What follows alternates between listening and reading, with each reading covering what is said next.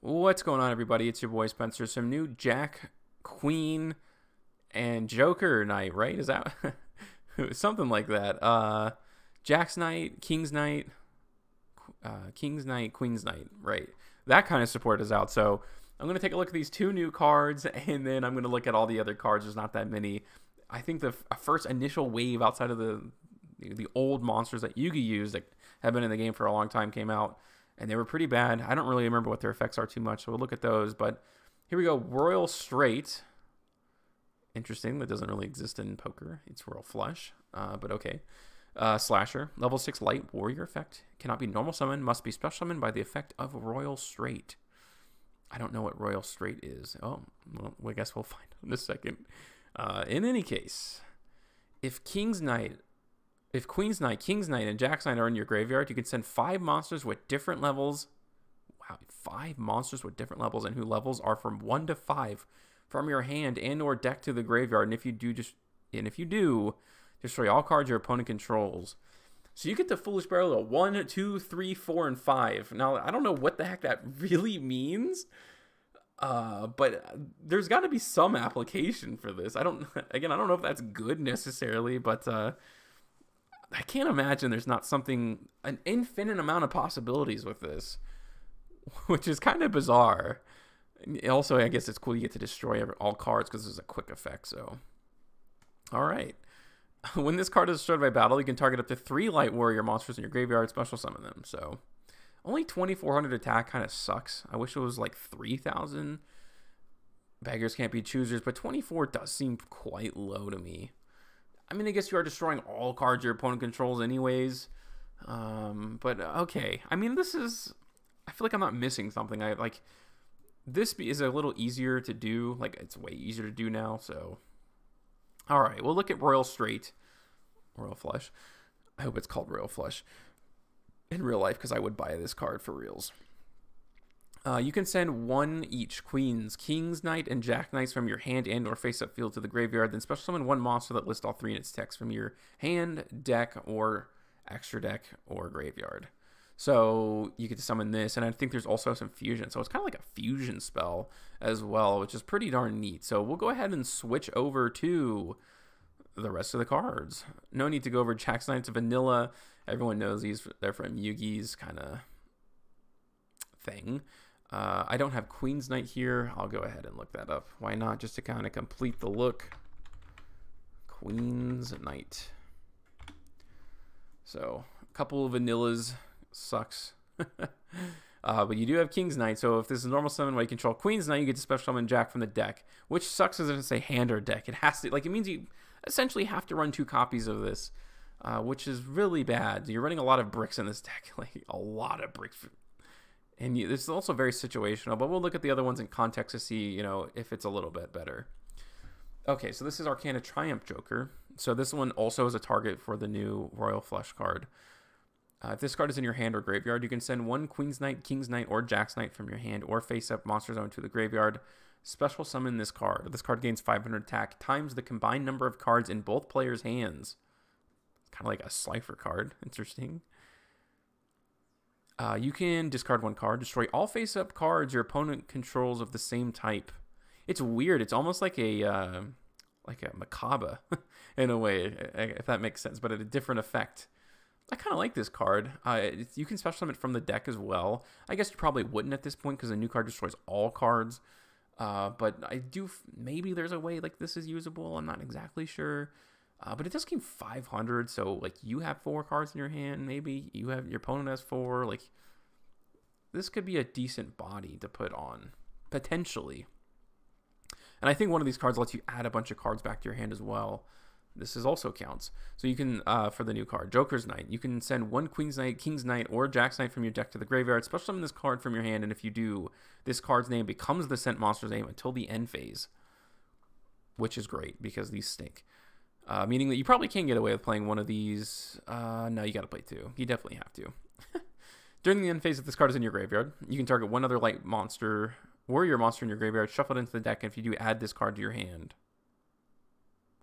Uh, which is nice, so kind of works with this. I know this is supposed to be inadvertent Slifer support as well, so I think they're trying to finally build. I wish all the Egyptian gods had their own things because they don't. They give them separate support, so that means their main deck. Like there is no main deck Egyptian god support really, outside of a few cards that really suck. A few cards that normal summon themselves and don't allow you to normal summon the Egyptian gods during that turn. It's absolute boo boo. Uh, so this kind of feels like you know adding cards back to your hand, giving yourself advantage. Yeah, yeah, yeah. Uh, this is Imperial Bower. If you control no other monsters, you contribute this card. Take two different monsters from your deck among them, among them, uh, among Queen's Knight, King's Knight, or Jack's Knight, and either add them to your hand or special summon each monster. This is cool for Slifer as well, um, but you can't control any other cards, um, which is uh, which is actually great. So, but unfortunately, this this has to be normal summon. This card, I wish they would retrain it that it would always be counted as King's Knight. Because if this card was better honestly all of them deserve retrains in my opinion but if this card at least was better like the whole my whole like ideology of this changes uh, but right now it's just eh. uh, this is face card fusion fusion summon one war, light warrior monster from your extra deck using monsters from your hand or field as fusion material if you control queen's knight king's knight or jack's knight you can use one monster from your deck as fusion material so as long as you have one of these you can go into either one of these two i don't know if either of these are good oh it's actually the same exact card they're just different arts uh, so we'll find out how good that is in a second. Actually, let's do it right now. uh, so it requires all three of them. A fusion summon of this card can only be done with the above materials. Once per turn, when a spell trap or monster effect is activated that targets this face-up card, you can discard the same type and negate it. Oh, it sucks. uh, but it is a light warrior fusion.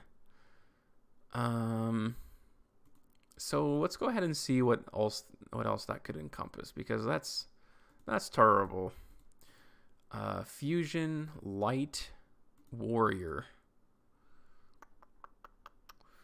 Hopefully there's something good. Something I mean there's just so many cards in the game so it's so hard to like think off the top of your head like, "Oh yeah, that would be great. Light fusions?" Uh okay. Here are all the targets. I think a lot of them are hero monsters too. Um, some Claw of Hermos stuff, which is kind of cool to be honest with you.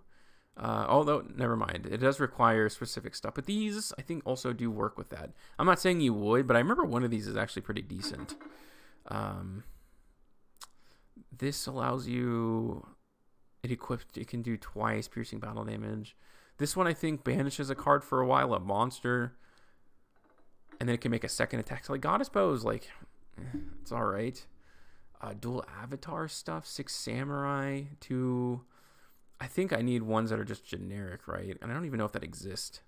If that's true, that would suck that they would do something like they would create a fusion card for one of the worst fusions. Like that's horrible. These are all the same attribute. I'm trying to go as fast as I can just to see anything. Um, yeah, this is Timaeus. That's kind of terrible.